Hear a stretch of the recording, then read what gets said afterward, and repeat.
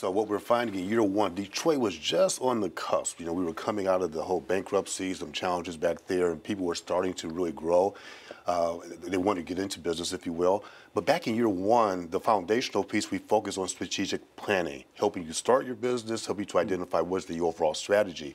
But here we are in year five. Detroit continues to emerge and continues to grow.